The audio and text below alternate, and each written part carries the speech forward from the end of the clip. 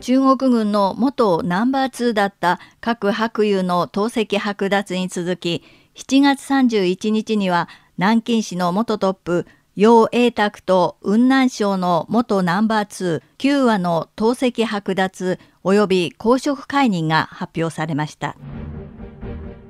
7月30日午後4時ごろ、河北省のロープウェイでワイヤが突然断裂し、乗客を乗せたゴンドラが落下。これまでに少なくとも3人が死亡、十数人が重傷を負い、多くの観光客が行方不明になっています。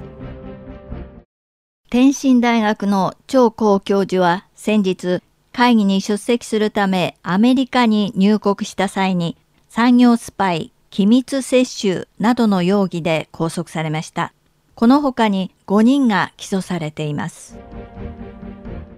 先日、中国国家統計局は6月の消費者物価指数 CPI を発表しました。発表によると中国28省の6月の CPI は上昇幅が2%を割り、消費が低迷しています。また、投資、輸出、消費は中国経済を引っ張る3台の馬車ですが、各種データから見ると、中国経済はなおも低飛行を続けているようです。